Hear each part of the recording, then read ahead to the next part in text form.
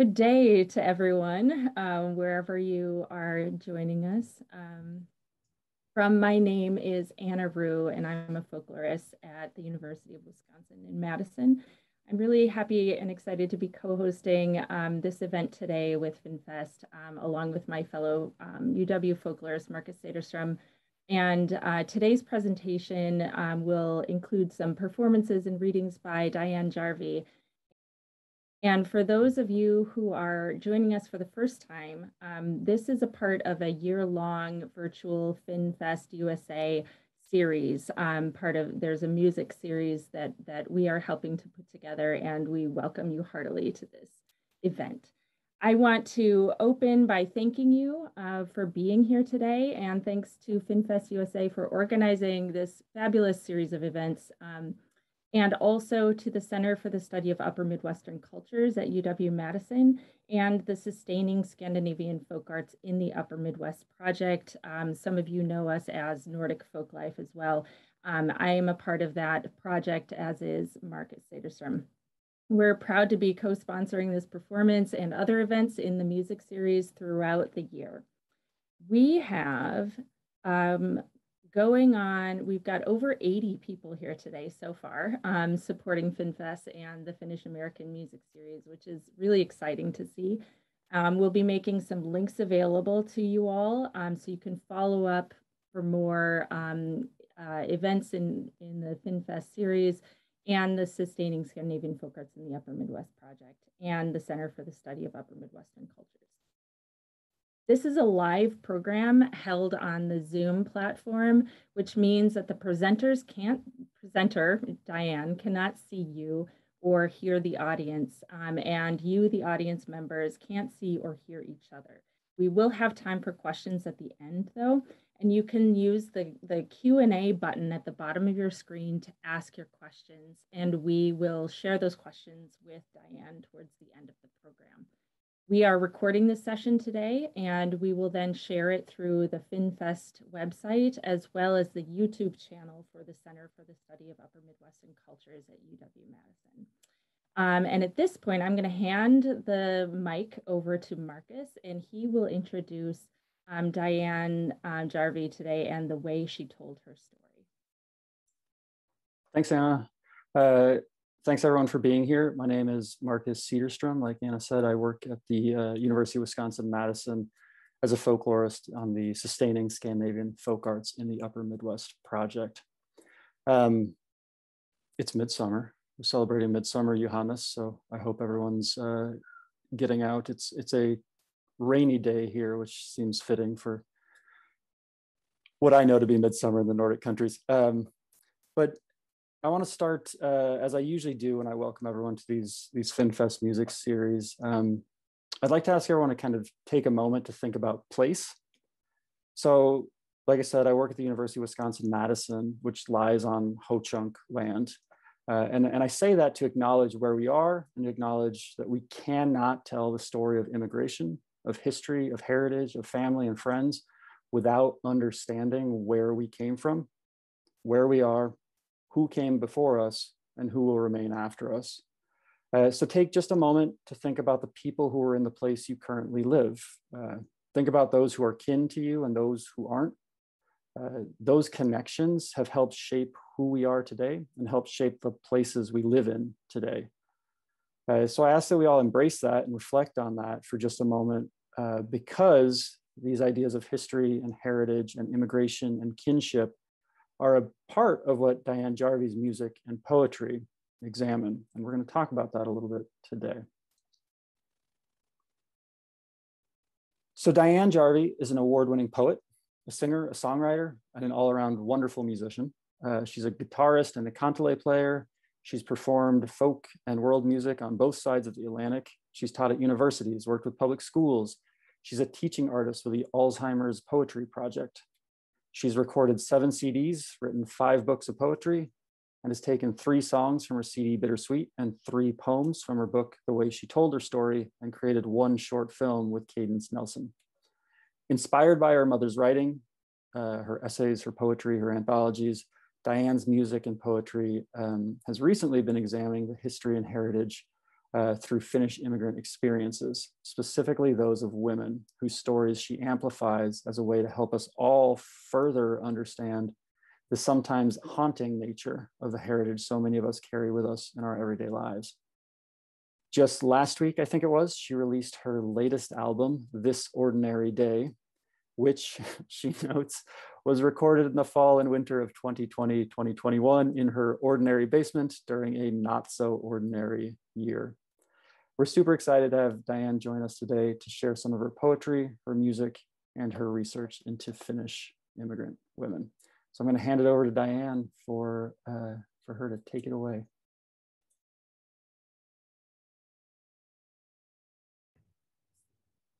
Well, hello everyone. Kiitos to Anna. Anna, I'll call you Anna and Marcus. juhannusta to all of you. I'm really honored to be here today it's another way of being a part of Juhannus and Midsummer, I guess. Um, it's often a time for families together. And I feel like over this past very unusual year, Zoom has made all kinds of different kinds of families for all of us to come together and gather. So I'm grateful that I'm, we're all able to do that today. Um, and I live, I live near Minnehaha Creek in Minneapolis, Minnesota, which was first inhabited by the mound builders and then the Minnewakan people. And so I thank you for saying that, Marcus. And I think that we always have to remember there are people who have come before us. And um, I find that's something that I do come back to a lot in, um, in my work. You know, for someone who really, I didn't embrace my heritage growing up. I really didn't even like Finnish music very much at all. Um, I've subsequently been a part of like nine FinFests. Uh, been to Finland six times, studied briefly at the Sibelius Academy, studied Finnish at the University of Minnesota. There are Finnish songs on six of my CDs, plus some inspiration of Finnish poets on my new one. Finnish related topics are in, on all of my books except for one. So yes, my, um, my heritage is deeply threaded in uh, my tapestry as an artist.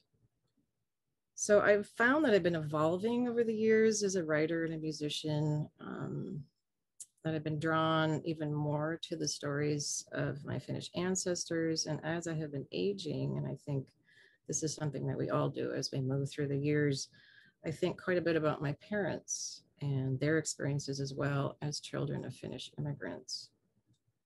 So while I was visiting Finland quite a few years ago now, I stood on the land where my grandmother grew up. And I saw the abandoned, by then it was just abandoned buildings and empty fields. And I thought, this is really sad. and yet it sings.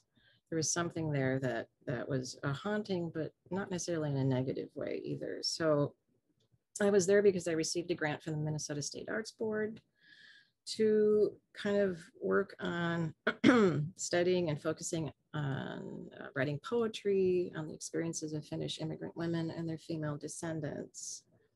So I did some research of Finnish American writers, women writers, and scholars, talked to a lot of friends and relatives to tell me they of their mother's stories, their grandmother's stories. They were always generous about that. And I did turn to the writings of my mother Aili Jarvenpää, who's a poet, uh, translator, and an editor.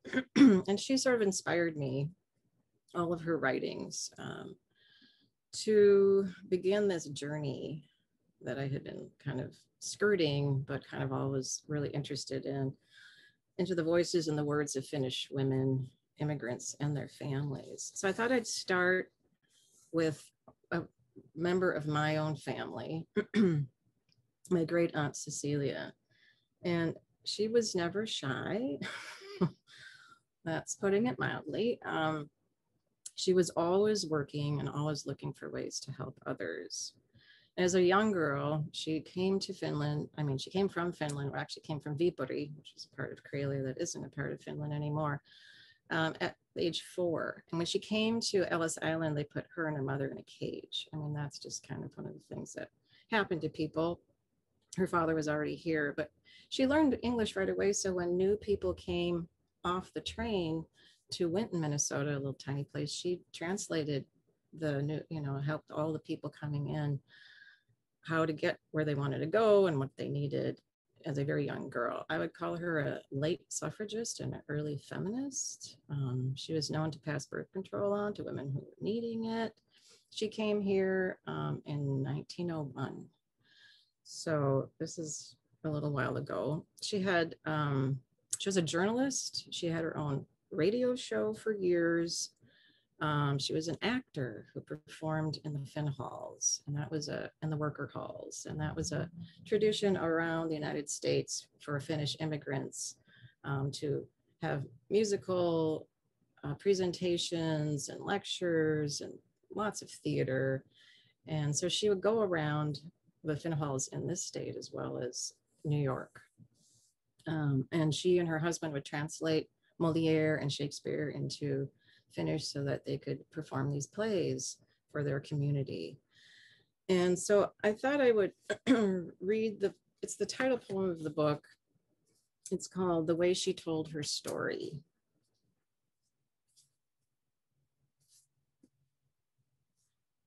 The way she told her story, she told them she was leaving for New York City, but your children, they said.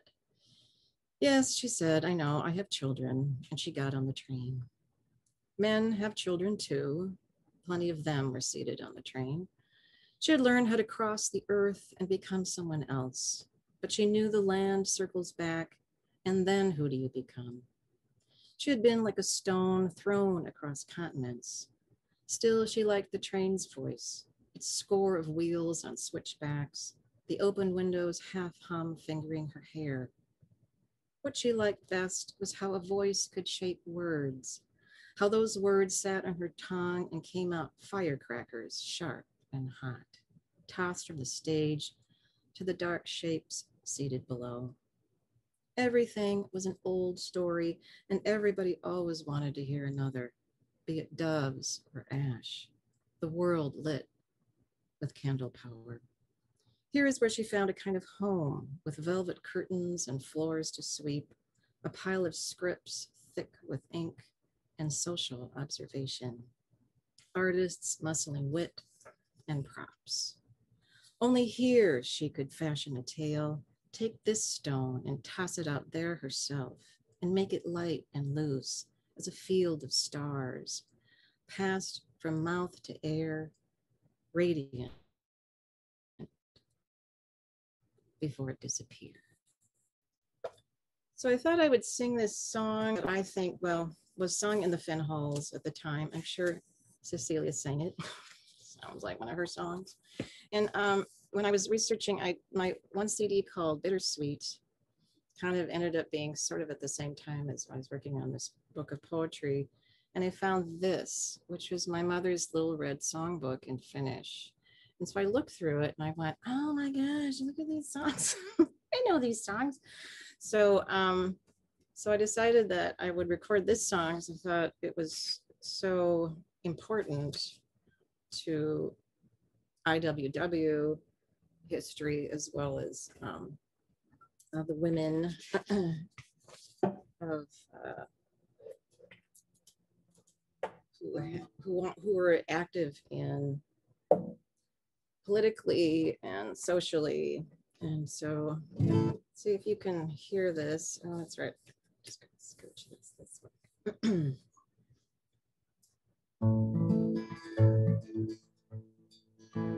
Mona Lycia, my master, when I see a dear that they send, while that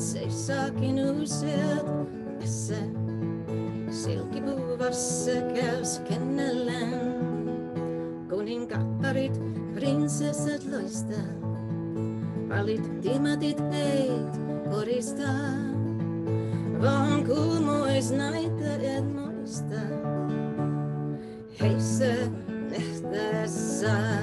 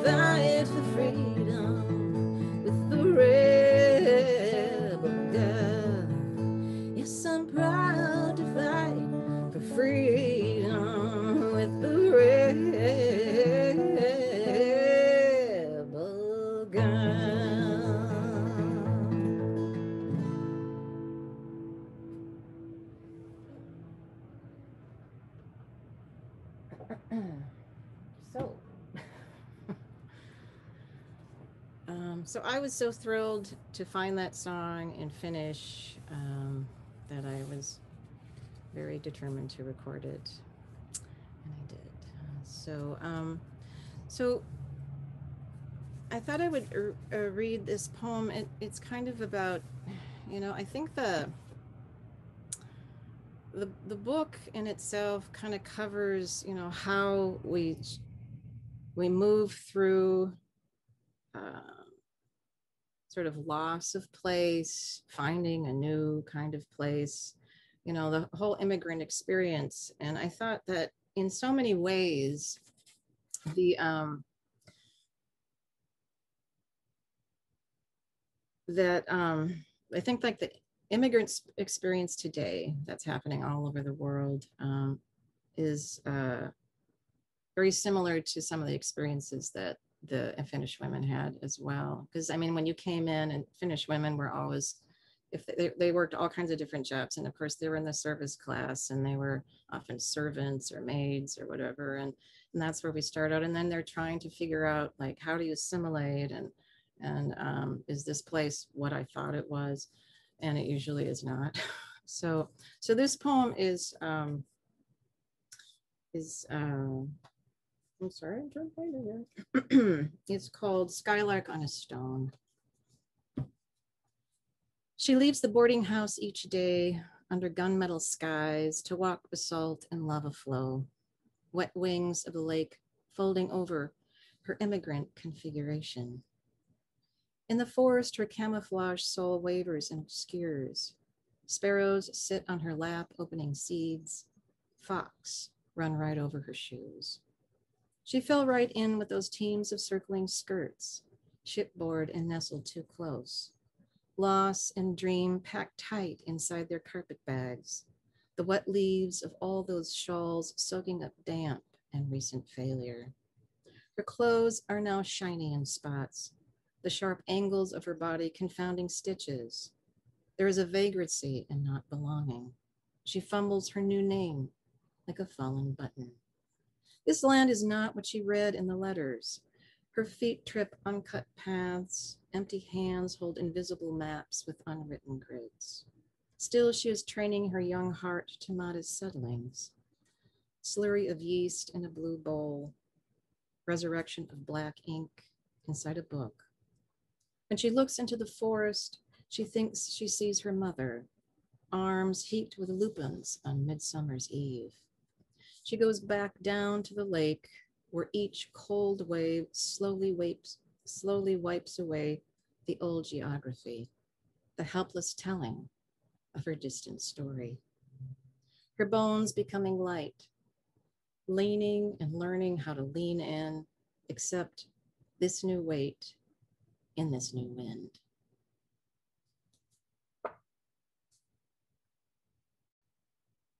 I thought I would talk a little bit about Viola Turpeinen since um, she's sort of, I feel like a mentor for all Finnish uh, American women musicians.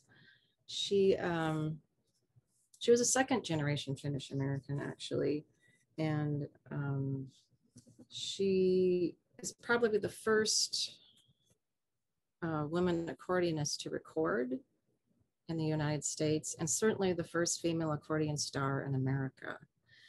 And um, she started uh, playing in the 1920s and was doing always the upper Midwest circuit, but then eventually based herself out of New York and um, toured wide, widely all over the US. And it was, it became a tradition for dancers to see her headlining her traveling shows shows every summer all over the country. And my mother remembers her coming to the Finn Hall. She certainly come to all the Finn Halls. But what I love about Viola is that she didn't just um, play Finnish music. She was just a great purveyor of it, of course, and uh, a great uh, mentor to everybody regarding it. But she played all music. She's like the world music accordion player. She could just do anything, and um, and she was beautiful.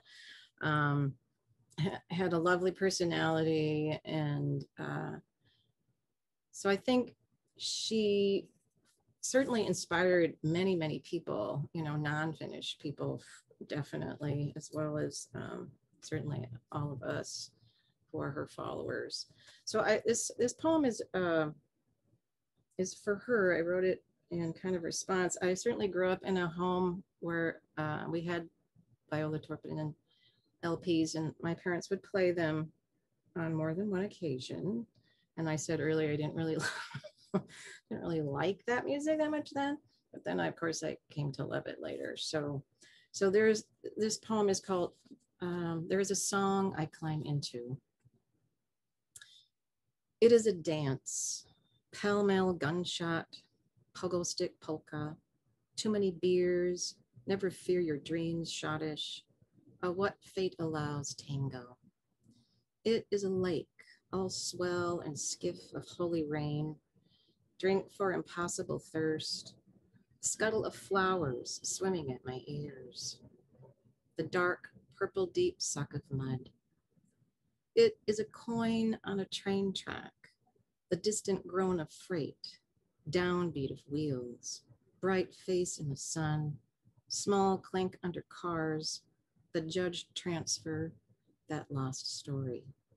It is an old idea, the unused language of home, the lost merit in forgetting, shadow tracery of absence, salty rind of a distant coast, birds murmuring through blue air. Listen.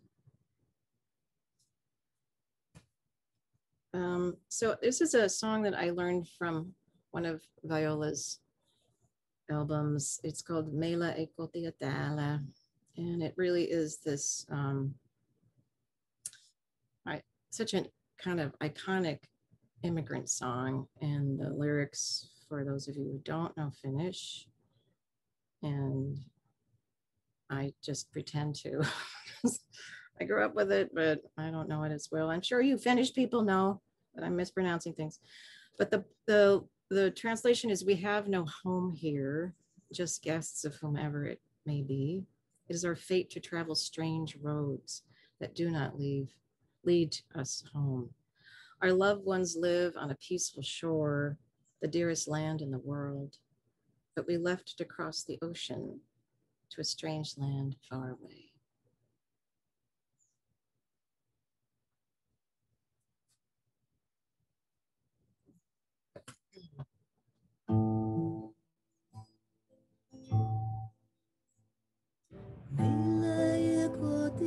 Täällä olemme jonka vieret vaan. Vilkohtalo meitä, outoja teitä, kotiin ei milloinkaan. Vilkohtalo meitä, outoja teitä, kotiin ei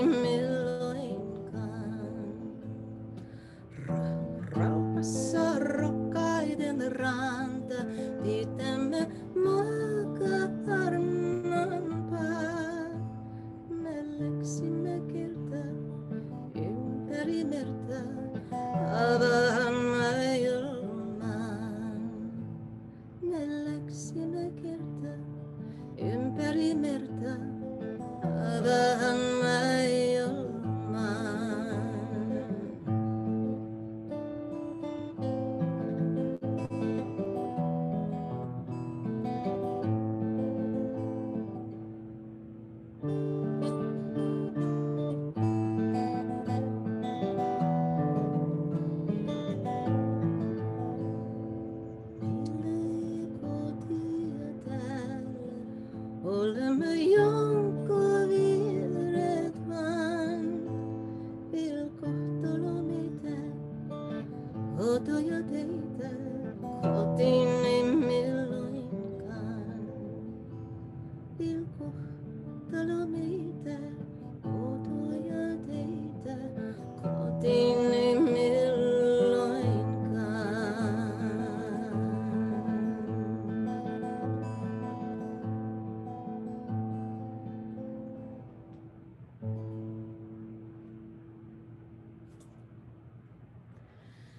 think um, Viola sang or performed, played lots of gypsy songs in her repertoire, and I don't know if she ever, I don't think she ever did this one, but I, I really think she would have if she. Um, it might have. This might have shown up before, or I mean, after her time, actually but it's a, it's a great gypsy song and it's in the woman the woman power kind of gypsy song where she's kind of mad and she's fed up. It's like this woman's fed up. Um, she says yesterday i got so mad. This is not a literal translation but yesterday i got so mad i turned purple. Um, how could i have fallen for an old man and his proposal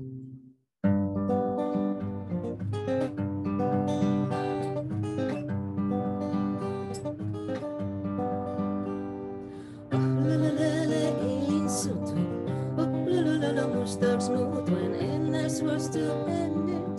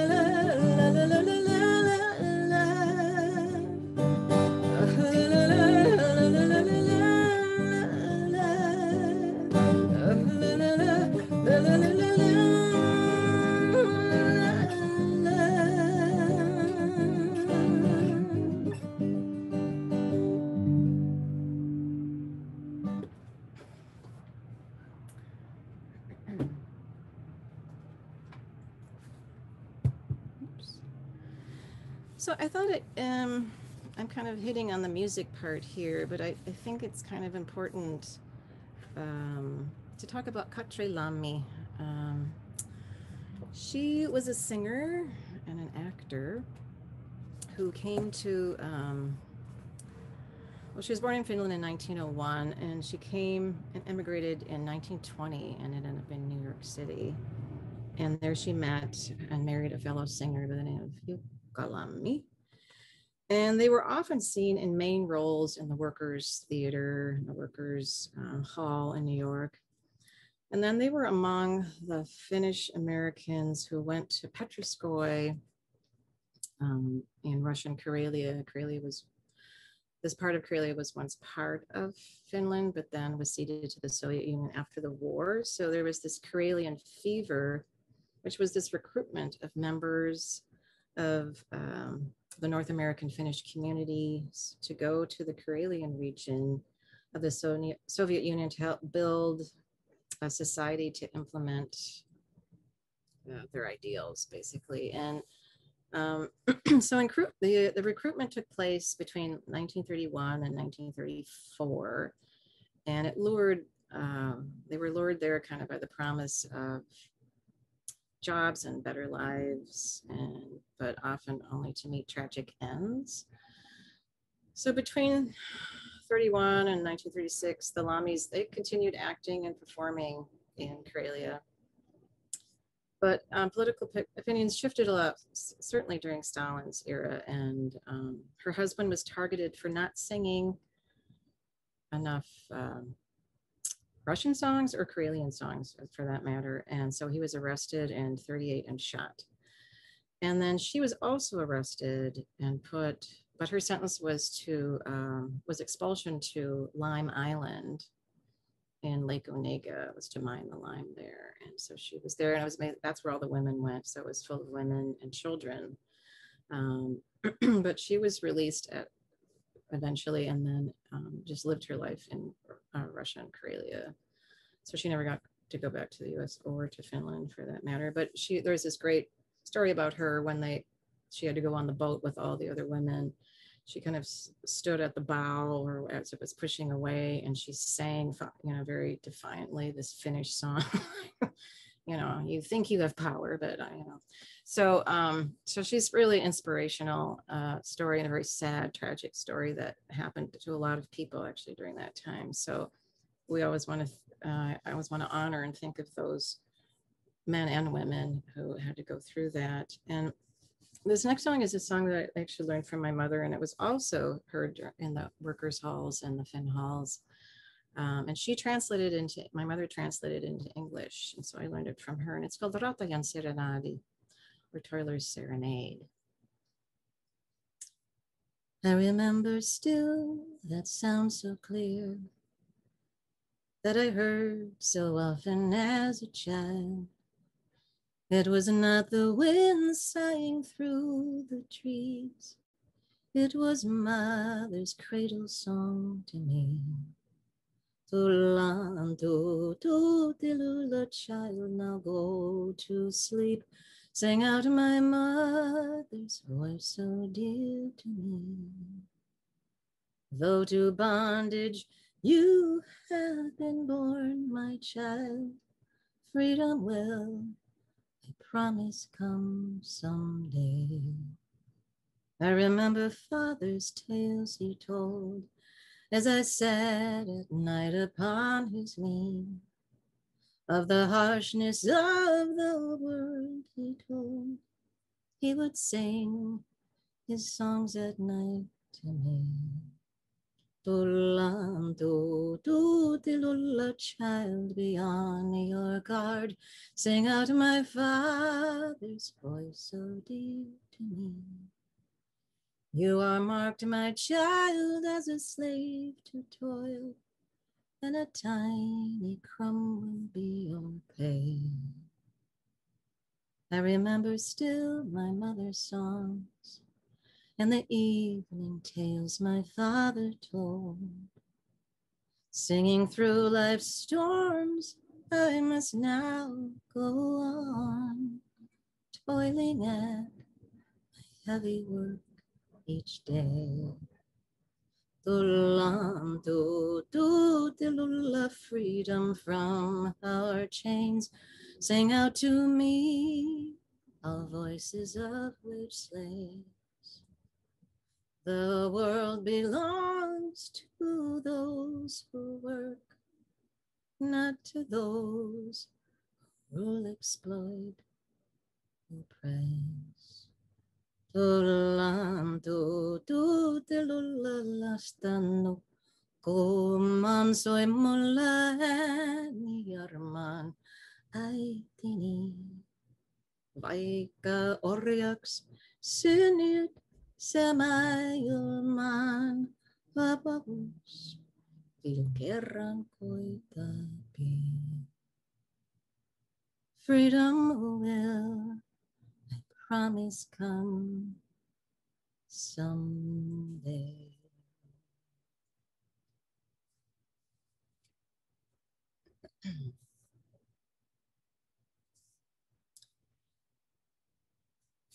Are you be able to, can you guys hear me? Is that still working? Okay, and how are we doing on time? so I thought, um, you know, these women that came here did, you know, there were midwives and they ran boarding houses. They were, um, they just did whatever they could to make a living. And um, thank you. Thanks for that. I'm glad you can hear it. Um, so I thought I'd, I'd, read this this poem. It's called "When She Filled the Bowl" because this was another kind of work that Finnish immigrant women had. Um, when she filled the bowl, we were brought together in the middle of that dense map of trees, where galaxies of mosquitoes spun around your ears, chinks of sunlight squeezed through pine needles. There was a woodbine confusion on all the paths at night if you didn't follow the buzz and gasp of stars, you could be lost for good. If you, excuse me, I lay in my bed alone, raw wind scouring away every silence. I dreamed a deep green sea, men sloshing up on shore, pulling their seaweed beards, holding empty plates. I couldn't believe the money. When you haven't got any and it is given it seems you are walking inside golden halos. All words spoken are soft and round. Hunger becomes a distant corner of dust, far from anything in your life, but not really that far. The lumber camp mess hall smelled of sweat and bread dough, the famished forever digging in their bowls. Great mounds of men appeared and disappeared all through the day, their large slabs of hands waited in turn before the river of milk, pancakes stacked like cordwood, scooping oatmeal to their chapped boy lips, soups and stews to ride the dark, cold nothing of their bellies. I learned how to sandwich mercy and power between thick slices of bread. And when every scar of your life pulses with failing, sugar and butter shine brighter than any old world sun. I was the only woman in this home of axemen. Nobody bothered me. The future was already written. Money was the only word of love. So I thought there's this, um, my mother had a cousin, um, Hilma, who came to Finland in 19, I mean, from Finland uh, to New York City in 1920 and got a job as a maid. And um, I remember my mother telling me this story, like, um, I think it was the 50s when, you know, she had seen her periodically, but she said, Oh, you know, my lady isn't home. when my family, my parents were visiting with my brothers, and we, you can come now to where I live. And so she showed them, and they were in the New York City Blue Book, I think. These were fairly well off people. And so she toured the place a little bit and then she said, opened the door and said, and here's where I, this is my room. And my mother was shocked because, you know, it was literally like a nun cell. It was just some tiny little room with one tiny little bit. And that was kind of it. I mean, maybe she had a little place to put her clothes, but it was a very limited experience. And she had done this for years. I mean, she just stayed there forever, decades. And, um,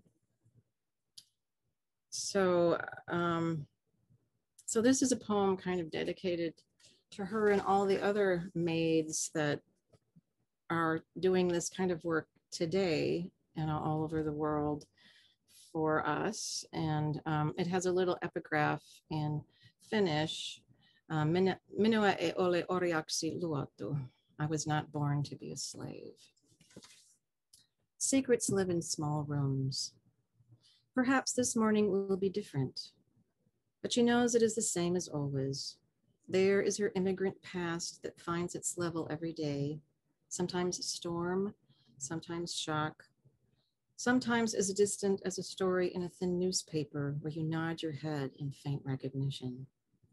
There is her work, which in simple truth is boiling, scrubbing, folding people's lives into clean, sharp corners that poke at others who are soft or have sharper corners still. It is work for those with what is called wealth, who like to wallpaper their lives with a shimmering indifference. It is in a home where receive is the common language of the day, and the elegant interlocking of need and want cross stitch endless demands. This is the place where she had learned fatigue can be a pure kind of grieving. Sometimes, when the pigeons start their wing scrapes at her window and the whole smoky city is still asleep, she sits up in her little maid bed, studies the four corners of her room she has lived in many years, tucked down the hall from those she serves, and invent and invents for herself a different future, a private life, a home with her children, digging in her garden, stirring spoons in her own pots, speaking of dreams with her forbidden husband that involve her own heart each and every day of the week instead of only on her one day off. So she was, she did have a husband, but that was forbidden. So they were married for years, but it was a secret. And he was a chauffeur, he was from France, and he was a chauffeur for other wealthy people. And none of these people could ever get married. I mean, they could not admit it. So um, that was a secret that they had for years. Um, but they did have that one day off a week. And I guess sometimes it lined up so they could be, be together then, but that was kind of it. So, um, so those, you know, that's certainly happening now. Maybe not the marriage. Well, I don't know about the marriage part. And, and in different parts of the world, it's just you know the underclass that serve and experience different kinds of lives than the rest of us, of course. So, um, let's see. Do I have time? How am I on time? You're doing. I'm you're good. doing great on time. Yeah. Yeah. Um, can I? I actually wanted yeah, to ask questions. Jump to, in. to jump in. There, there's a there's a few uh, questions that I think are really relevant right Okay. now. Um, both uh, two of them two of them related to your aunt, uh, and they were asking for for your uh, her name. Um, and uh, Dr. Jim Leary asks, um, was uh, Cecilia Kuitunen uh, your great aunt Cecilia, um, because she made a bunch of recordings for the Library of Congress in 1937.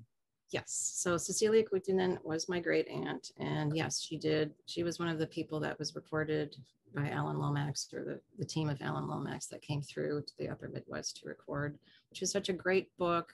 Can we plug the Jim Leary book? it's such a, you know, that's an amazing document, which is right here. You know what? I'm sorry, Jim. It's like folk songs of the upper Midwest. Is that what it's called? Of the upper Midwest um but yeah and she appears in there and and it was such a, a surprise because i got this book and there was my there she was but yes she cecilia Kuitunen. Uh, Great. i'm happy to have her as a relative And you know, you've been you've been talking a lot about um, uh, women doing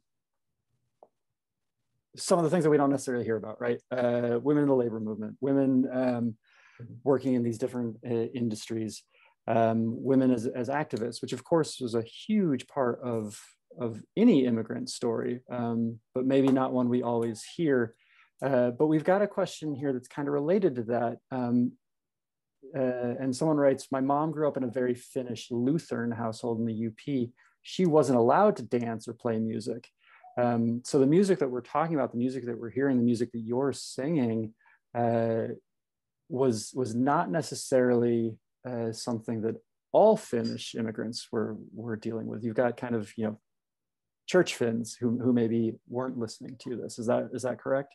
yes that is correct and i'm not the utmost expert at this because of course i knew there were the the either the white Finns and the red Finns or the church Finns and the you know the co-op Finns. And so i was you know my both sides of my family tended to be on the the the they weren't the church Finns. But i know i've subs- subsequently worked in the you know the community of Cokato, minnesota which is you know a lot of church Finns and and other Finns as well. And yeah i mean that's a different experience they had growing up for sure. Um where no they didn't they, they their, their dancing was not permitted and the music that was there were, were, were hymns of course and a wonderful wonderful tradition of finnish hymns definitely but not what you're hearing today for sure it's a different a different uh, ethnic experience for them. Great, thanks. Uh, we've got a couple more questions, but we'll we'll uh, Okay. we'll work those in as we go Yeah, so here. I'm gonna circle back to another woman that I'm very um, enamored with. Um, It's a, uh, her name was Helmi Mattson. And I learned about her through my mother, who did quite a bit of translating of her poetry and her um, short stories or plays, actually. So Helmi, Helmi, she was born in 1890 in Finland and came over in the US, or I think she was in Canada for a while and then ended up in the US in, in uh, America in 1911. And she was an activist in the Finnish American Society. She was a writer and a commentator. Um, she was the editor of the leftist women's newspaper Toveritar for 10 years and then wrote for the newspaper Eteenpäin. She also wrote 500 poems, published five novels, uh, serialized seven other works of fiction in addition to writing full length plays. So she was like this amazingly prolific person and, you know, and never was never tiring. I mean, she just worked all the time so so incredibly inspirational and always you know progressive forward and women forward you know for everything. And so um i'm very enamored with helmi in so many ways but this is a poem for her um, and it's also dedicated to all the women in journalism you know and particularly immigrant women in journalism because now we're hearing about them more and more too. And that's, as, as you said, Marcus, this is what happens when immigrants come. I mean, we also hear their voices. Maybe they're not making money in the same way and they're econ- socioeconomically they're different, but then they're very active. Uh, and we hear their voices in different ways. So this is a poem called Mother Ink, and it's for Helmi Mattson. I take the black heap nothing of letters, blend story and map, reflect worry and shadow, align words into linear columns cast off from hot metal tattoos. Pulled from the weight of dream and despair, I am given speech from the lips and tongues of others and make a kind of imperfect song. And I am an imperfect mother that sets a table where the underclass of the world claim their chairs and tell their stories. There is always a code and an index strewn through my day, and the need to edit proliferates. I could say I ask for nothing but some kind of truth, a common language that answers the watchfulness and hunger in all of our voices. But instead, I rely on a linear metamorphosis, a kindled story to winding sheets, a wild twist of fortitude slamming like fists onto crisp folds of printed pulp. So in my most recent um, CD that just came out, it was all about um, me. It's just basement tapes. I'm just sitting in the basement. I lost all my work. It was the pandemic. And I had been nudged by my my daughter to maybe she should make another CD or something. And so I had a dear friend who gave me the equipment. It's just kind of live capture recordings, really. And um, it was really a great experience for me, I have to say. I, I just loved all of it. And it's just singer songwriter stuff. It's all in English. I've never done that before. Um, but I was so taken with a poem by Helmi called I'm Old and Young. And so she inspired this next song that starts, it's the first song on my new CD.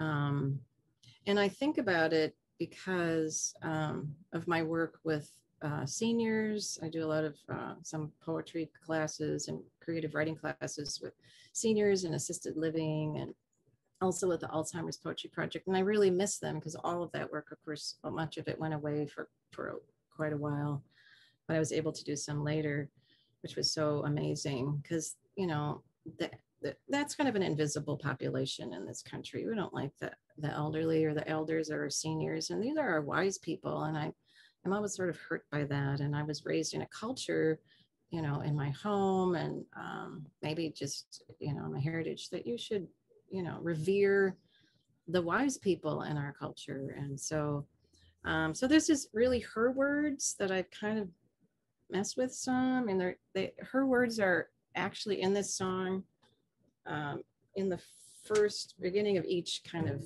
verse there. But also i noticed actually i was looking at the poem again i went wow i kind of i did knit some things in there that were also hers throughout. So it's called i'm a volcano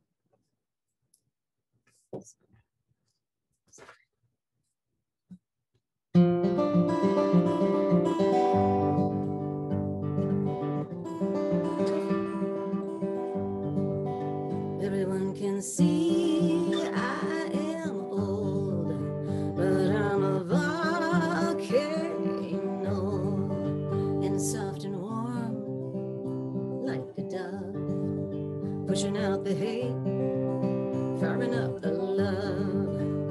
I am old and strong as steel. Trust the wise, they don't conceal, never giving up not giving in. The forever stupid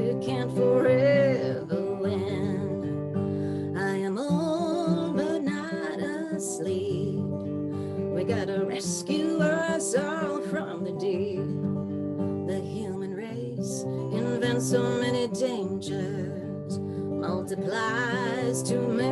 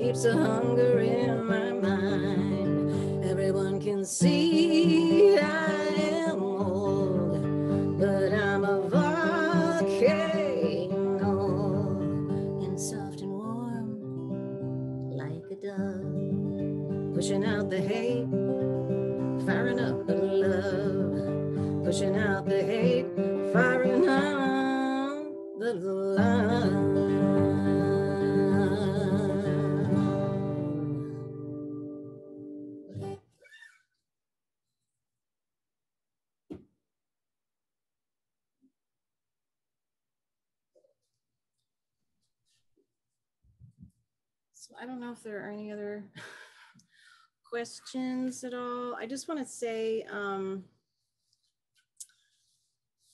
that um, during the pandemic, I was thinking a lot of my grandmother, um, who we lost to the last pandemic. Um, so she left behind her husband and four children. It was a second wave of the last pandemic. And the youngest being my father, who was just turning three.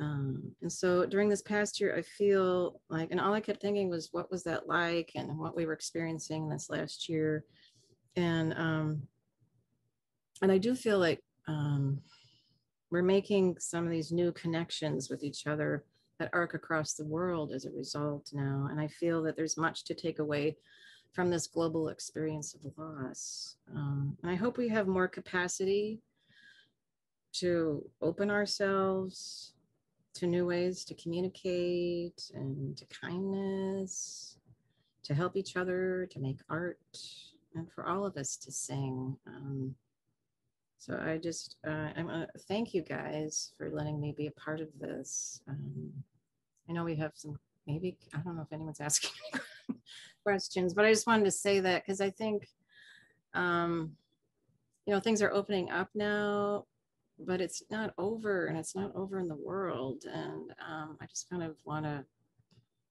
for us all to remember that too, and that we're all kind of in this together if we can.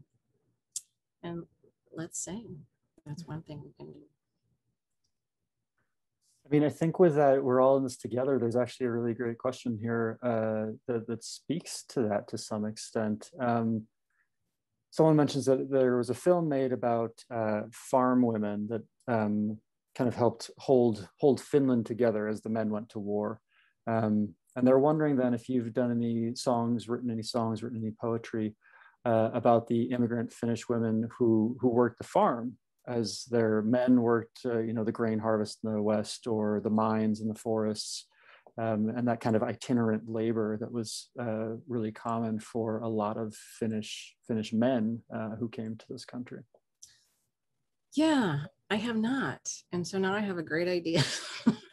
moving forward. Thank you for that. Because I think that, I mean, I missed all kinds of things. I, I, I have a list going and it will be added to that list of um, all the different ways that we forget all those experiences of people that come here and uh, and obviously I'm speaking about Finns, but um, yeah, I think that's a, those women worked so hard and um, in the field. I know that they did. And that's something I do want to address in the future.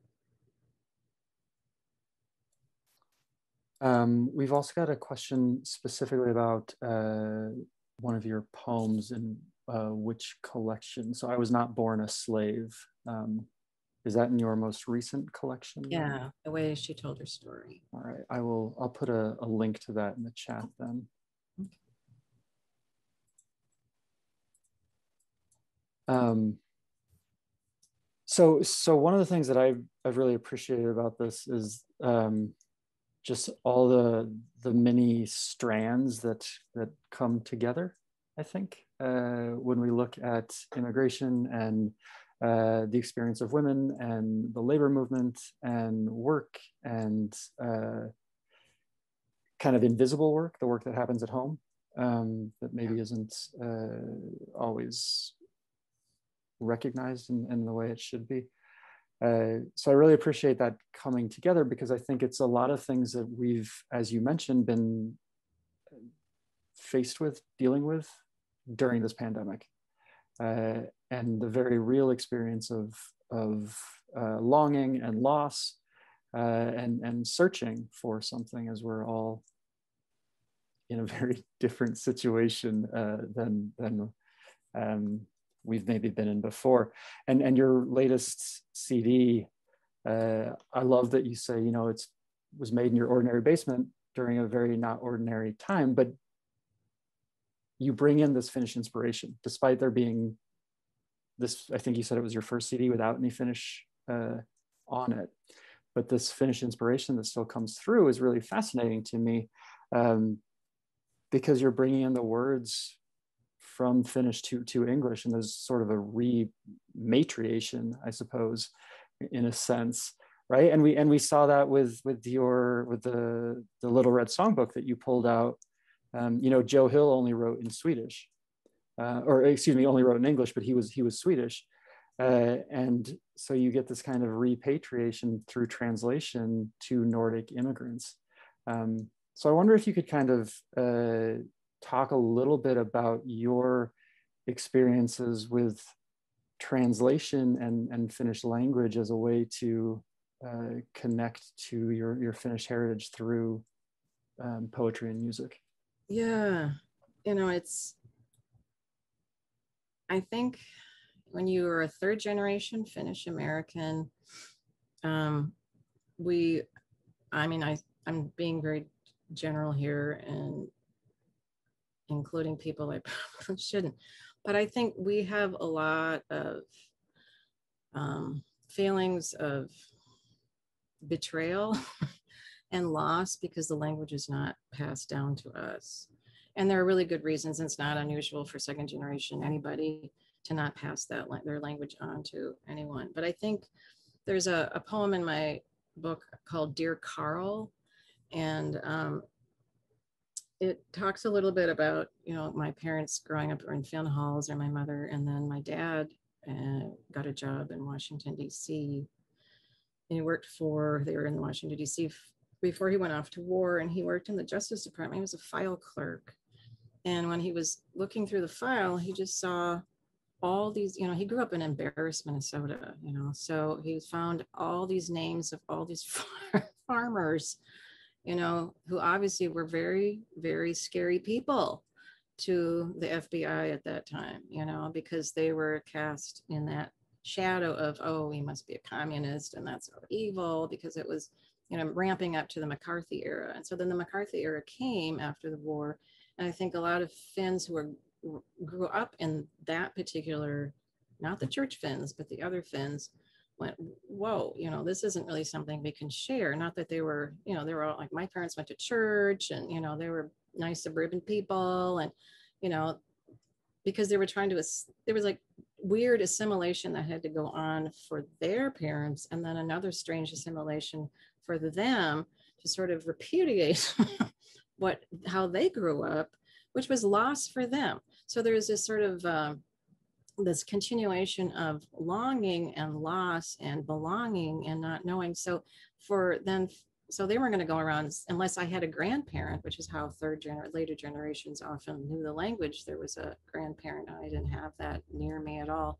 I would have learned more, but they really did not want to teach me. I mean, and that wasn't unusual either. So it's been a really hard thing to reckon with because it's so part of my DNA and my identity, and I don't have the language. It's not a one you pick up really easily. Sorry, Finnish folks, this is a hard language. and I've certainly, you know, been to Finland. I've certainly studied Finnish. I tried to sing it. I mean, my attempts, I'm sure, are lacking, but it is. It's so tied to the culture and how important it is that I carry that loss as well. And so I think that's what brought me to wanting to sing in it. And I started singing in high school. I don't know. I was in my bedroom. Oh, I like this song. And, and then, you know, then started playing kanteles and, and I just sort of embraced this thing because I didn't have the words and I couldn't communicate with my relatives. We go up north and it was like we were in Finland. Everybody spoke, I was the only one, the only kid, and no one else spoke English. I mean, they my, the younger generation, obviously the second generations, but none of the third generation or first uh, immigrants weren't really speaking English that much there. So I think it brought me to, I never knew my grandmothers. And this is what I always say I started singing Finnish to talk to my grandmothers. And because um, that was some way to communicate and honor them and uh, be witness and continue uh, some sort of lineage in the only way I could figure out how to do it, which is incomplete, better than it always is. There's this great quote, um, Yoni, Jouni Inkala is a great Finnish poet. I think I have it here somewhere. Um, and he has this great poem and it's he says every it's called genealogy his poem and he says everything in me is a contagious debt and my heart has nothing to pay it with, since the echoes of its pulse cannot go backwards. And that's what I kept finding out when I was in Finland, or I've been doing this stuff forever. I can't go backwards. I mean, I went and walked all those lands and visited, you know, all the, um, went through all of my genealogy, the pilgrimage of going to all the different places my relatives lived. But in the end, you know, that that's about as far as you can get. And so you learn that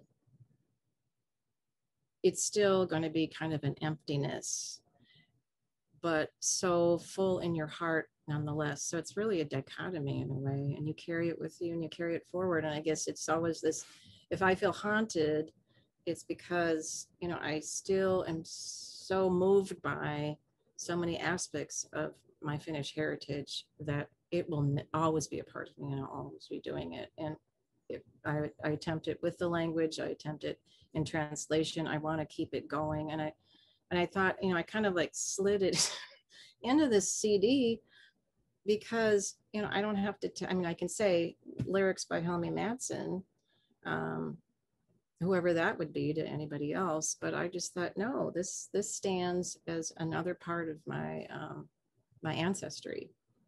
So it's all it's all approximation, you know. It's all we can do. That's yeah, that's wonderful. I mean, uh, you said at the very beginning, you mentioned haunting and said, you know, it doesn't necessarily need to be a bad thing, right? And, and what you just described is is a sort of haunting that that isn't necessarily a bad thing. It's something you carry with you and yeah, and makes you who you are. That's wonderful. Um, we've got a question uh, here.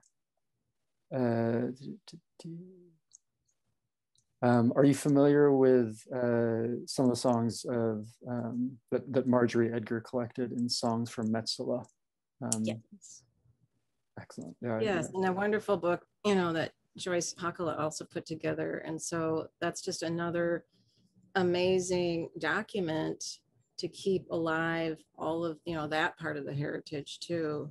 Um, so we're always grateful for any of anybody who goes to the trouble of you know i mean here here marjorie had done all that work and then who who was she? And so then then joyce came and said no this is somebody.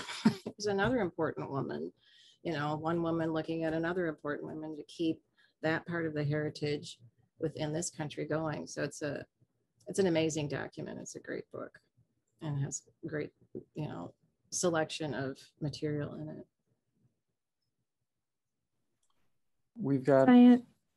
Oh, go ahead, Marcus. I was just gonna say we've got, we've got one uh, another question here um, about kind of uh, making connections to what's been what's been going on uh, recently, uh, and someone asked, you know, what is what is this Finnish Finnish American protest tradition that you've spoken to the you know tradition of activism and protest? What can that offer us today in terms of of social issues that we're all grappling with?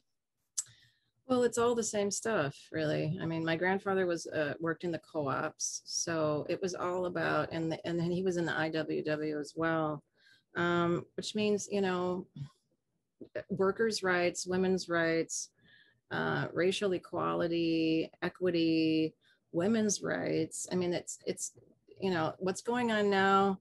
It was these were all issues at that time that they were working really hard for they weren't always appreciated for, it, just like I don't know if we're ever appreciated for it. Um, because we were kind of, you know, the later um, incoming immigrants at that at that time of like that first decade of the 1900s, and so, you know, if you were a church Finn, I'm sure you kind of slid in a little easier, but I think it was at times a little more of a challenge if you were saying, you know, this is wrong, I, you know, my grandfather came here to avoid conscription in the czar's army. So right away, you know, he's coming in here and and he's involved in the co-op, and my grandmother was as well. Um, because you want everyone to, you know, there are food deserts, right? And so why do we have food deserts and why don't we have cooperative why isn't the food for everybody and why isn't there education for everyone in the finn halls the tradition was you could come and get a meal if you didn't have food. You could, there was a library, so you had free access to books.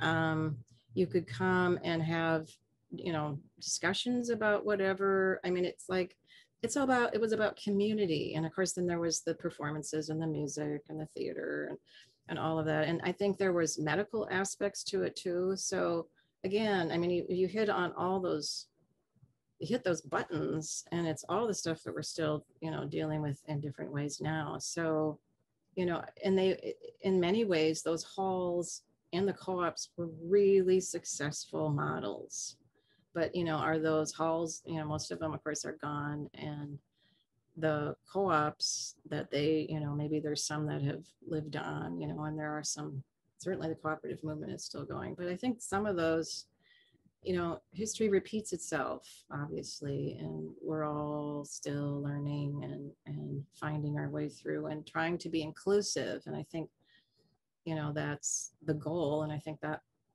that was their goal. How successful, you know, they were, you know, I can't say I wasn't there, but I know about some of it and I know about the stuff in my family. And I mean, I, I think that we're just all, again, we're all in this together. And there are so many ways, so many models that we can keep trying to um, enact and include people. Yeah, thank you for that. Yeah, I mean, and, and to bring it back to your music, of course, and and you know, a song like Rebel Girl, I think uh, Joe Hill at one point said something along the lines that, you know, once you teach someone a song, no one can take that from you. Um, they can you can burn books, you can, you know, burn down Finn halls, but you can't take someone's song. You can't take their music. Um, and so the the songs that you've sung for us today, the poetry that you've read for us today, I think really speaks to to that aspect as well. So it's really really beautiful. Oh, thank um, you. I just wanted to share this comment. We have uh, Dr. Dr. Allen in notes here. Um, you were so eloquent in commenting on your back background. You definitely inherited your parents' um, uh, sense of tradition, community, and family, and he remembers them um, both so well. So I thought that was a really wonderful thing. It was nice to Thank share you, with, with everyone. yeah, I miss them every day. They were amazing.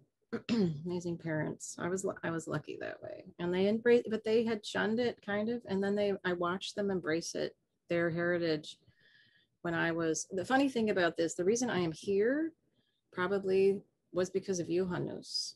When I was maybe 14 or 15, there was a big celebration and I never, you know, I thought, oh, I have to go to a Finnish thing with my parents and uh, and it was this beauty somebody's beautiful backyard. And then all the women had their costumes on and flowers in their hair. There were big bowls of strawberries and there was live music. And I just thought it was like a dream. Like it was, it was cinematic. And right away, then I went, okay, this Finnish thing is a lot different and deeper than I thought it was. And it has joy and beauty in it that I wasn't aware of. And that turned me. I have to say. So, um, and my parents embraced their f- full speed ahead. You know, went from zero to sixty. It was always there for them, but they were very became very active in the Finnish community in their fifties and onward.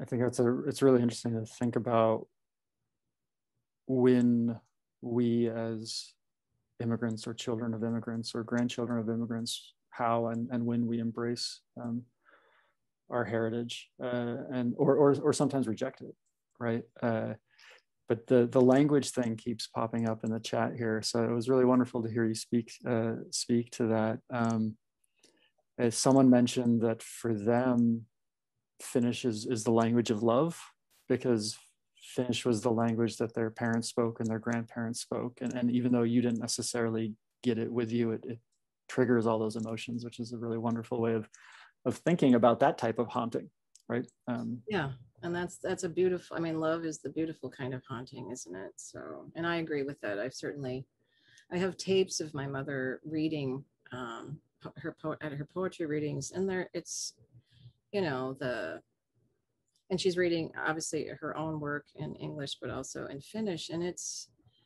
you know, it just kind of goes right to the solar plexus. It's something that we can't describe. And that's what art is. It's indescribable and how it affects us. And it's kind of a visceral kind of experience. And I find that also, as that person mentioned about um, the language and, and how powerful it can be in, in a very beautiful way.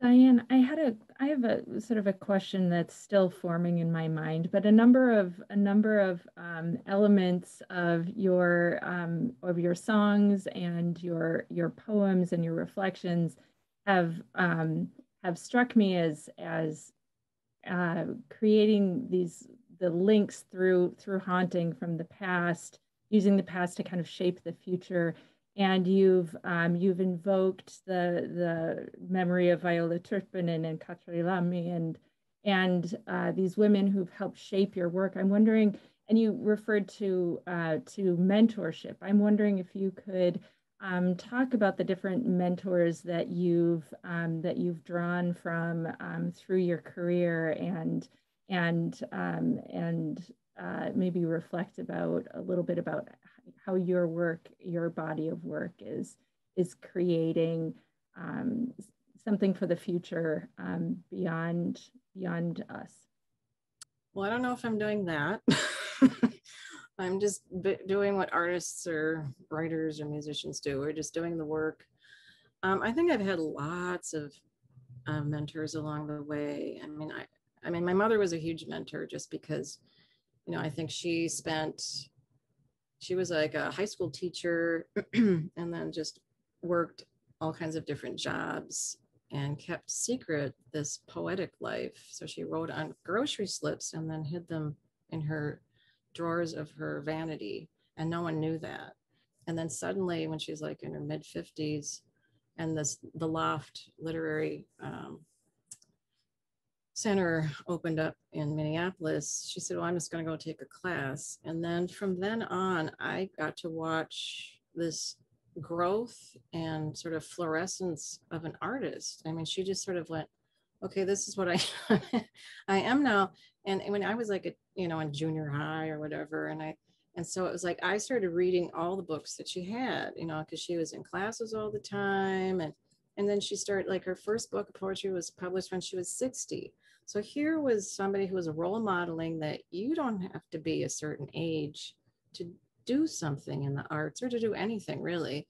And that's an incredible gift. And then to watch someone have this new passion and form themselves as an artist just right in front of your eyes, you know. And so, you know, and she had Alzheimer's later on, but she still, you know, like seven books later, it's like, well, no, I have to work on this. And so we worked on it together because she really wanted to put it out. It was important. It was like, I am this person and I need to do this. And so that was an, an, an amazing mentor because it it's like so many layers of, of, of mentorship going on there uh, and very supportive you know gave me a guitar when i was 12 i didn't ask for one and i didn't even know i wanted one and then i got one and then look what happened i mean it was like you know so but i mean who were and they tend to be you know a range of people who've eh, you know influenced me or helped me along the way.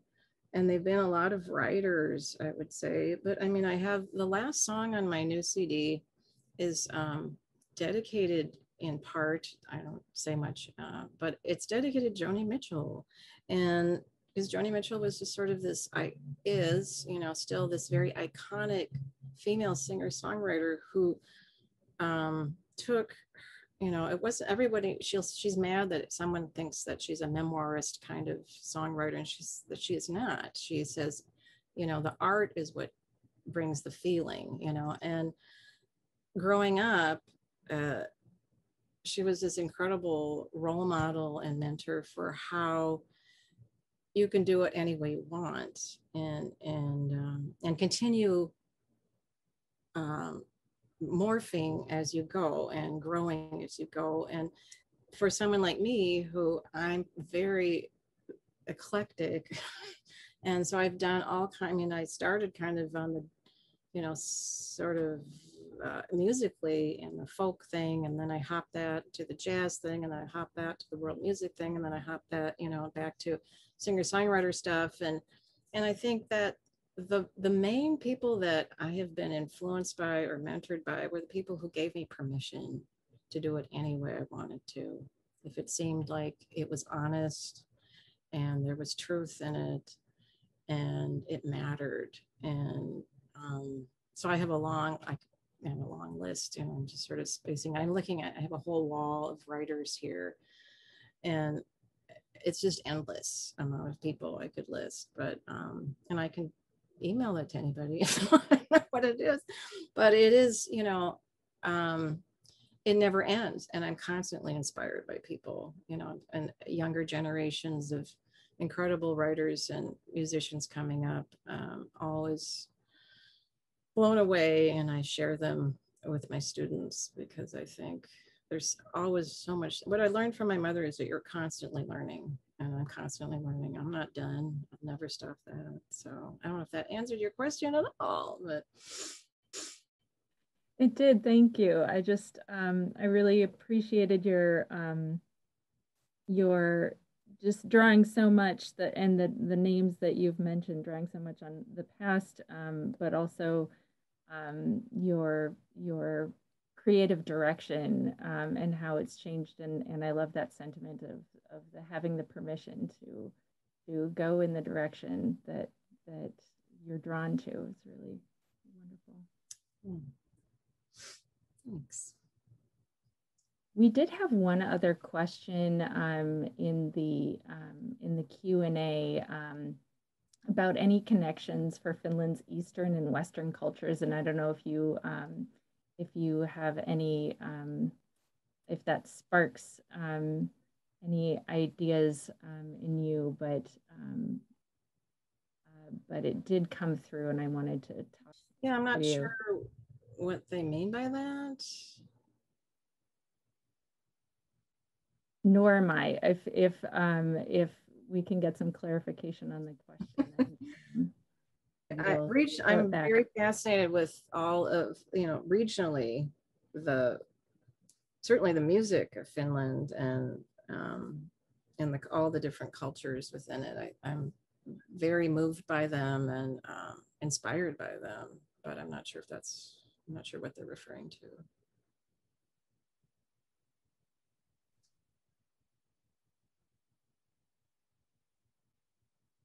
I think we've we've um, we've had a number of of um, just uh, comments about how your reflections have resonated with people and their family stories and the links they have to um, to their to their ancestors. And I think this is there are so many um, so many family stories that that are mirrored in yours and in your music and your art and uh, and that is coming through in the comments i think. Oh great. Because you know when you're doing this you're just it's kind of like crapshoot and you're just shooting stuff out in the universe and you never think it's going to hit any targets at all ever. And then when you i mean i feel as a you know, I'm an American and um, and then I've had the gall really to sit there and, and record all this music in Finnish. And you know, and I'm sure that everyone wants to sit me down and go, that's not quite it. But um, but at the same time, I hope they you know, the reason I do it, it's a very emotional thing. It comes from deep inside. It's uh, I take it I do it with a lot of hopefully it appears anyway a lot of reverence um, because it is very important to me. So um, it's a i'm glad that i'm not missing marks. Whatever i'm trying to do that some somebody's can kind of you know recognize something or experience something. I'm great i'm very grateful for that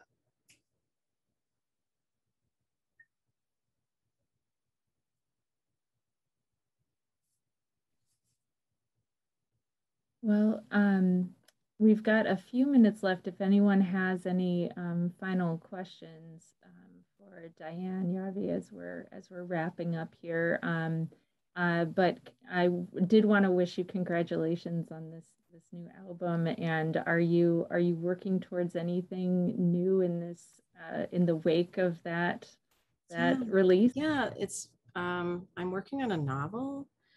And is Fin is Finland in it? Yes. I cannot escape this you guys. It just walks around with me whatever i'm trying to do. So i mean i'm in early drafts of it and who knows if anyone will ever see it but that there is a novel and it takes place in the us but it also goes uh, also goes to finland in it as well and i've had a i think i've had the most fun of all the projects i have to say in writing it just because it's different. It's a different genre for me, and I've just had a blast. So even if you know I'm the only one who ever sees it, I'm totally satisfied with that. And then I'm working on um, a couple uh, poetry manuscripts. So um, you know, whenever those show up in the world, if they ever do, but they're they're being worked on too. That's great. We do have we do have one more uh, question that came in here asking about um, different influences in your work, specifically uh, if there's any kind of um, Baltic influence, not just Finnish, but Baltic in, in general influence in your work.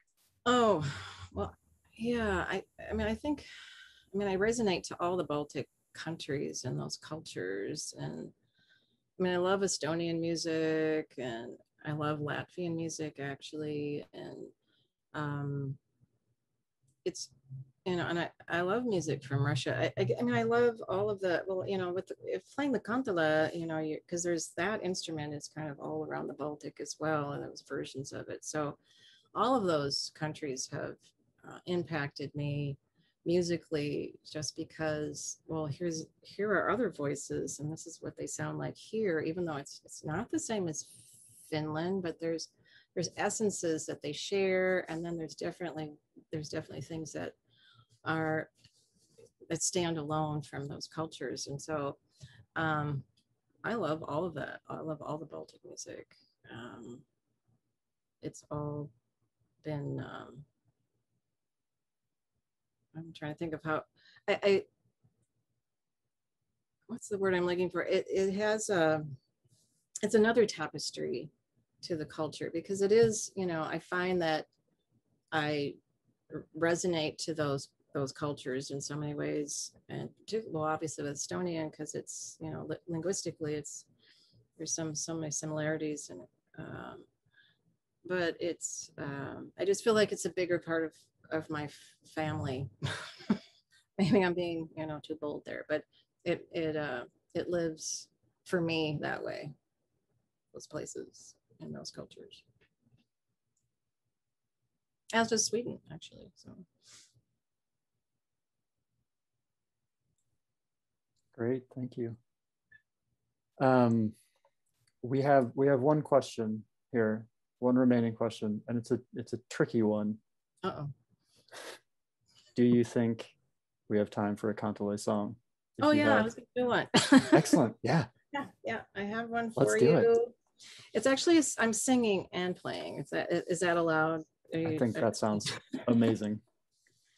So um, my mother was, and I am actually uh, from things that I've been, had translated for me, um, a, a, very great admirer of Arvo Turtiainen, who's a Finnish poet. And he wrote this beautiful poem called Minakaisten, I mean, I mean, it's called, sorry, Minä kuulin Naisten Laulavan, which means I heard women singing.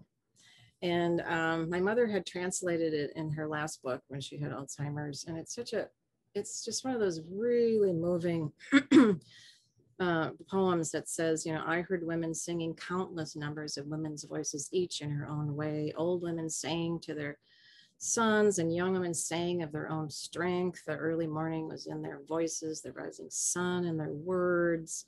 And I realized that my own life was being sung in their voices and they were singing for everyone. I heard women singing. I don't know if you'll be able to hear hear this or not.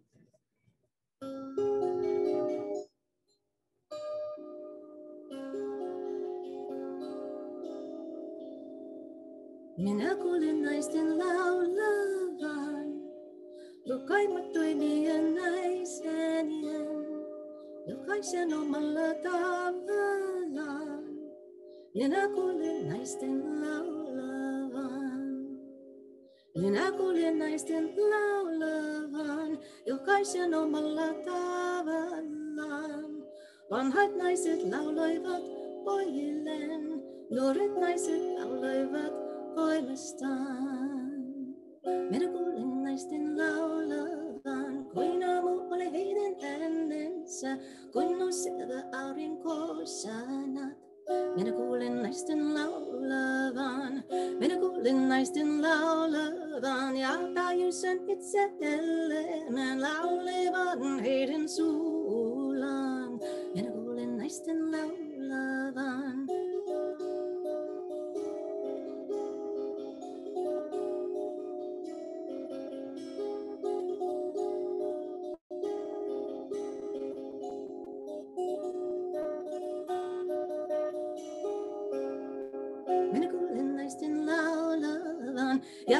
Ljusen höjden Isen i katta kaikille laulevan Enakuulen naisten